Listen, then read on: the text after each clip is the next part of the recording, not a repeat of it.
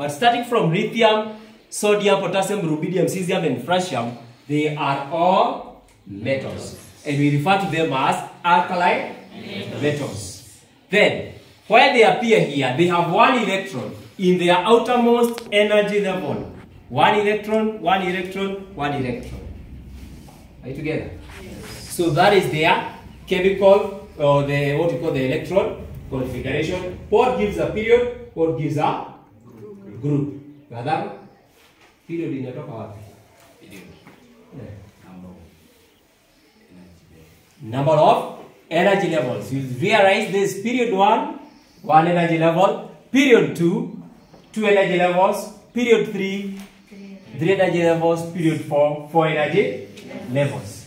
The rest, but I said you can dig deeper.